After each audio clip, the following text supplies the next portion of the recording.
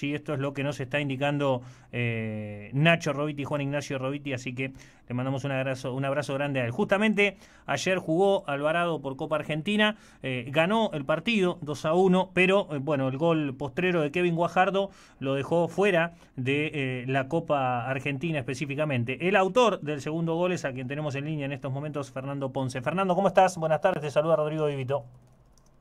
Rodrigo, buenas tardes, ¿cómo andás? Bien, muy bien. Eh, ¿qué, partido raro, qué llave rara jugaron ¿no? contra Deportivo Roca? Porque está claro que durante gran parte de los más de 180 minutos que se jugaron, Alvarado fue el equipo que propuso, el protagonista, y en la última pelota del partido, literalmente casi, eh, se quedaron con las manos vacías, ¿no? Una sensación, me imagino, para ustedes muy extraña.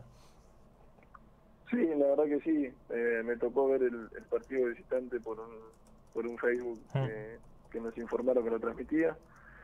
Eh, creo que, no merecimos eh, venirnos con la mano vacía de roca y, bueno, después del desarrollo del partido acá eh, fuimos totalmente superiores, creo que que sin faltarle respeto al rival y, a los colegas, fue un equipo que en ningún momento propuso nada, vinieron a, a intentar de, que Alvarado no juegue y así todo no lo pudieron conseguir. Creo que eh, tuvimos en el primer tiempo nada más cinco o seis ocasiones claras de gol.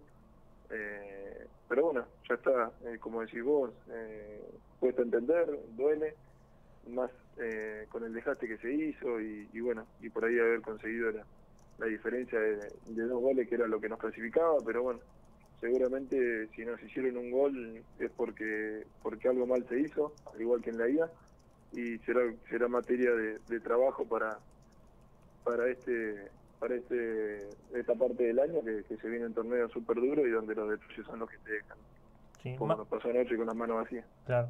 Bueno, más allá de eso, qué, qué, momento de, Lucas Di Gracia, ¿no? del arquero Deportivo Roca, que por momentos se, hacía enorme, ¿no? Y era muy difícil vencerlo hasta que, bueno, ese, e, ese gol de, Salazar abrió un poco el marcador y vos después pudiste meter el segundo, pero eh, realmente creo que, que se apoyan demasiado en el momento que tiene el arquero y se defienden cerca de él, ¿no?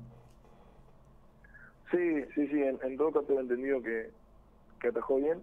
Eh, ya te digo, el, el, canal de Facebook por ahí no, no te permitía verlo muy claro, pero, no tengo entendido que, que, sacó dos o tres eh, pelotas medias claves. Eh, y ayer acá, eh, la realidad también es que se agiganta un poquito con, con el resultado final, porque se lleva la clasificación. tampoco es, o, sin sacarle mérito a, a, su trabajo, como te dije recién, yo no lo vi sacar ninguna pelota tampoco era ángulo. El cabezazo de rol y él va tirado para ese lado y, le rebota, yo creo que ni la vio. Eh, después, en, en dos o tres tumultos, sí, respondió bien, pero pero bueno, también es falta de, eficacia nuestra, es, una materia eh, a mejorar porque la sufrimos mucho el semestre pasado. Eh, no puede ser que por ahí en, en 20, 25 minutos generemos cuatro o cinco situaciones y, y, y siempre seguimos teniendo el cero, ¿viste? Entonces, eh, habrá que, como te dije recién, trabajar y, empezar a afinar porque eh, con esta parte del torneo que, vamos a afrontar, los errores tienen que ser mínimos porque eh, nos puede llegar a costar una eliminación o, cosas por el estilo. Claro, sí, bueno, sin duda alguna, eh, también este tipo de partidos y un poco la la tesitura que también tuvieron durante el semestre pasado, que era dominar el juego pero que les cueste abrir el marcador, es como una señal de alerta que les viene bien a tan poco de, del debut frente a camioneros, ¿no? Porque, eh, como bien marcás, ahora el margen de error se, se va a cortar muchísimo por, por, la calidad de los rivales que van a tener enfrente y porque el objetivo realmente es alto e importante para, para Alvarado y me parece que de alguna manera, más allá de la tristeza y la impotencia, les viene bien que les haya sucedido esto antes de empezar el, el tramo final del federal. ¿No? Sí, sí, sí, sí. Yo, eh, por ahí es una frase que, que la escuché mucho hoy en el transcurso de la mañana y te dicen, bueno, menos mal que pasó ahora. Eh, yo la realidad que no creo en eso. Me hubiese encantado que no pasara y, bueno, y trabajar sobre los errores, pero pero hoy descansando con la clasificación en casa. Eh, pero pero bueno, eh, sin lugar a dudas es una es una alarma, eh, hay que hay que hacer hincapié en eso. Por ahí creo que salvo el rebote corto que, deriva justamente en el gol de ellos en el partido allá de visitante, después en la fase defensiva se hicieron las cosas bien, tanto de visitante como, como anoche acá, y sigue siendo ese mismo despeje corto el que, le da la posibilidad después al delantero de Roca de, hacer el gol. Entonces, también en medio de decir, che, eh, no, no, no puedo pestañear en una jugada que, me vengo con un gol en contra. Entonces, eh, habría que, ajustar. Eh, son detalles y como te dije hoy, no quiero ser reiterativo, son los que a lo largo de, de torneos, cuando, cuando la competencia es, tan fuerte como yo considero el Federal A y hay tan poca diferencia entre un equipo y otro, de, de, los que van a jugar ahora el octogonal, eh, son los que te terminan dejando afuera, entonces bueno, sería sería una pena que por un detalle se vaya por la borda el, trabajo que venimos haciendo hace 6, 7 meses, que creo que, es muy bueno. Claro. Bueno, ¿cómo ha sido la pretemporada para ustedes, Fernando? Porque la particularidad también que tiene este Federal A que, que va a reiniciarse ahora es que venís de, con un ritmo de juego, con una calidad de juego terminás el torneo como les tocó a ustedes como puntero, el segundo mejor equipo de la competencia, eh, pasás a la próxima ronda y te agarra la fase decisiva después de un mes de pretemporada más o un poquito más en realidad eh, y, a veces es difícil porque el tramo decisivo uno cree que tendría que estar atado a lo que fue el inicio de la, de la primera rueda, ¿no? Como para tener un poco de, continuidad. Incluso esto le ha pasado a Alvarado, quizás eso también le pueda servir eh, como, como experiencia, ¿no? De haber terminado primero en aquel momento con Duilio Botella, con un cambio técnico en el medio, en otra situación, y después que no le vaya tan bien en el, en el octogonal, ¿no? ¿Ustedes cómo se sintieron en esta pretemporada para afrontar este tramo decisivo, ¿no? Eh, sí, sí, sí, creo que, o sea, que es difícil. Eh, por ahí vos venís con, con ritmo de partido y, compitiendo y te encontrás eh, con un parate que, que si bien cuando estás en las vacaciones se te pasan volando y tenés que volver a entrenar y, y, demás, eh, son varios días. Eh, nosotros creo que redondeamos una cosa de 23, 24 días con, con las fiestas en el medio, que, que también por ahí juegan su papel, porque uno se acuesta un rato más tarde que, lo normal, o, se da el permitido de, comer algo que, quizás en competencia no.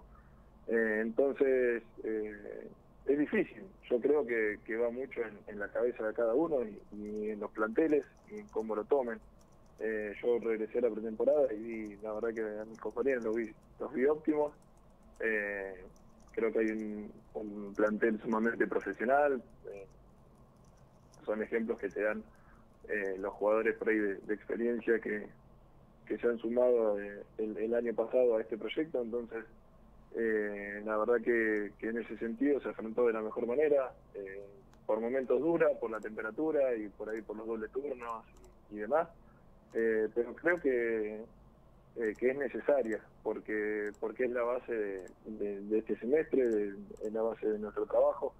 Y hoy día desde mi punto de vista y mi manera de ver el fútbol en, esta categoría, eh, por más que, que vos hagas muchas cosas bien desde lo táctico y, con la pelota y demás, hoy por ahí un equipo eh, donde los 10 jugadores, sin contar el arquero, que, quizás es el que, el que nace tanto desgaste, los 10 jugadores eh, te corren parejo y te complican. Entonces, uno tiene que tener para, para contrarrestar eso también en caso de que de que la parte la parte de, tener la pelota no sea la que marque la diferencia. Claro. Eh, pero pero no, creo que, que eh, nuestra pretemporada fue buena. Eh, tuvimos la, desgracia de que se nos lesiones justo eh, Negrito Moli y, y, Canoé. pero pero bueno, puede pasar, creo yo, en, en pretemporada, en pleno torneo. por ahí te repito lo que lo que te decía hoy esa bendita frase, a mí me gustaría que no pase nunca y tenerlo todo en, impecable estado, pero pero bueno, si Dios quiere, eh, pronto ya, ya van a estar con nosotros y, y, sería bárbaro porque, bueno, ya sabemos por ahí lo que lo que es tenerlo al negro dentro de la cancha. Claro, sí, son, son dos jugadores importantes, sin duda que tienen cómo reemplazarlos, pero que, que son importantes para la estructura del equipo, sobre todo en el caso de, de Cristian Canoe en lo específico. Eh, ¿Cómo viste, cómo ves desde lo personal eh, a, Omar Salazar y a Diego Werner que se han sumado en este, en este mercado, lo que has visto de, de, ellos en los entrenamientos, en las prácticas para eh, insertarse al grupo? ¿Qué crees que le pueden aportar cada uno con, con la experiencia que tienen ambos? ¿No? Porque son, como se dice habitualmente, trotamundos del fútbol, ¿no? Sí, la verdad que, bueno, eh, con Omar eh, tuve la suerte por ahí ayer de, ya de, compartir eh, el campo de juego y, creo que en poco tiempo demostró ¿no? lo, que es. la verdad que, que bancó, bancó muchísimas pelotas y, y, tocó, me parece, dos adentro del área y fueron dos goles. uno que lo anularon y, el otro que fue el primero nuestro. Así que creo que eh, que al, margen de, lo deportivo después en el vestuario se lo vio se lo vio muy muy abierto se lo, se nota muy buena persona así que bueno eh, en un momento me preguntaron por, por los refuerzos eh, que todavía no estaban definidos y, y mi opinión fue la, la de la de que si vienen a, sumar y aportar su granito de arena bienvenidos sean y creo que, que es lo que lo que hizo mal y lo que está haciendo Diego que eh, que si bien no tuvo la, posibilidad de competir, eh, se lo vio en estos días eh, también súper abierto, con alegría, se que tanto él como, como el tanque están contentos de, de por ahí de, estar acá.